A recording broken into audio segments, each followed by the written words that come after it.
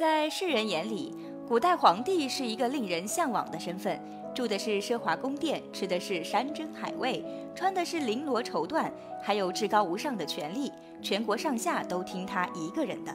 这样的日子谁不想过呢？但我国历朝历代的皇帝虽然日子过得相当滋润，但普遍都不长命，他们的平均寿命还不到四十岁。到底是什么原因造成的呢？虽然皇帝要什么有什么，吃穿住行用的都是最好的，还有一大批医术一流的御医照料，却仍然逃不过短命的悲剧。主要原因其实有三点。第一呢，则是伴随坐上皇帝要面临的危险了。自古以来就有很多谋权篡位的例子，很多有野心的人利欲熏心想当皇帝，所以很多皇帝被刺杀篡位，这是一种非正常死亡的原因。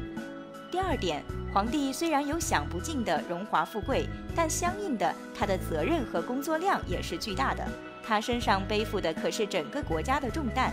每天都要处理各种国家大事，熬夜批奏折，这都是家常便饭了。除此之外，皇帝还要面对很多权力的争斗和处理后宫的勾心斗角，可想而知，皇帝的心理压力要比普通人大太多。还有一点呢，则跟后宫佳丽三千有关了。在古代，为皇室开枝散叶也是皇帝的责任。人丁兴旺，才能保证皇室的兴盛。所以，皇帝白天工作再累，晚上也要加班加点。而有些昏庸的皇帝，整日沉迷女色，长此以往，身体自然被掏空了。结合以上这些原因，所以古代的皇帝平均寿命才不到四十岁。